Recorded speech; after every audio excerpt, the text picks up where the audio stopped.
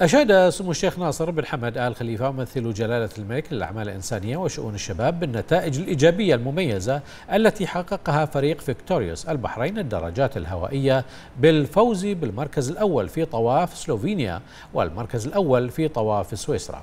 وأكد سمو الشيخ ناصر بن حمد آل خليفة أن حصول الدراج في الباهوس على المركز الأول في المرحلة الرابعة من طواف سلوفينيا والدراج جينو مادر الحائزة على المركز الأول في طواف سويسرا. تأتي امتدادا لسلسلة من النجاحات والإنجازات التي يحققها الفريق في المشاركات الخارجية والتي تساهم في الترويج لمملكتنا الغالية والمساهمة في تحقيق الرؤية الاقتصادية للمملكة.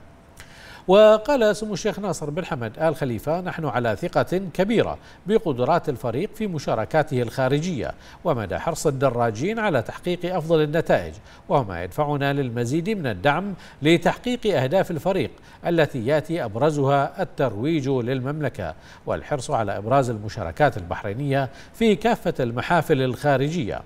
حيث ضرب الفريق أروع الأمثلة في تحقيق الإنجازات. وأضاف سمو الشيخ ناصر بن حمد آل خليفة أن تتويج الدراج في الباهوس في طواف سلوفينيا والدراج جينو مادر في طواف سويسرا مبعث للفخر والاعتزاز بما يحققه الفريق من نتائج مشرفة.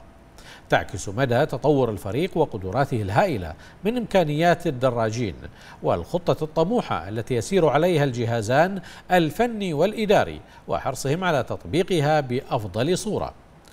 واستطاع الدراج فيل باهوس من الفوز بالمركز الأول في المرحلة الرابعة في طواف سلوفينيا على الرغم من المنافسة القوية التي شهدها السباق فيما تمكن الدراج جينو مادر من تحقيق المركز الأول في المرحلة الأخيرة من طواف سويسرا.